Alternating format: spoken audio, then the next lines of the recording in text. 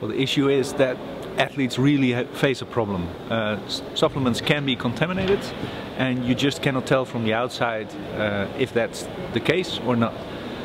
I have a feeling that athletes um, have a right to use supplements, to, to use that word, right. Uh, I think it is important to acknowledge that supplements are a part of society.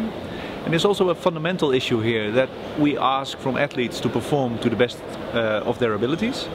Um, and there are certain supplements out there that help them in that regard. So um, yes, it is a problem that supplements can be contaminated and if you like sports, you should try and do something about it.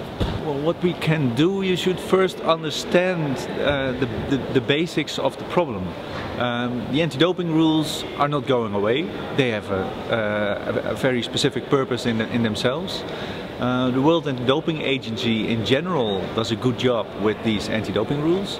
Uh, regarding supplements, they're a bit hesitant to take action there.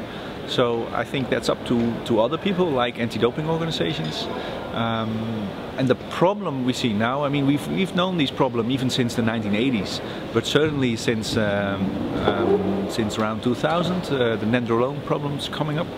Um, and in those years, we have learned that you should really, um, yeah, that you can encounter this problem anywhere, that it's there, uh, some, some of the manufacturers understand this and have their products tested, but you have seen all over the world, predominantly in, uh, in Europe and North America, several, um, yeah, several ideas, several schemes, several systems to tackle this problem.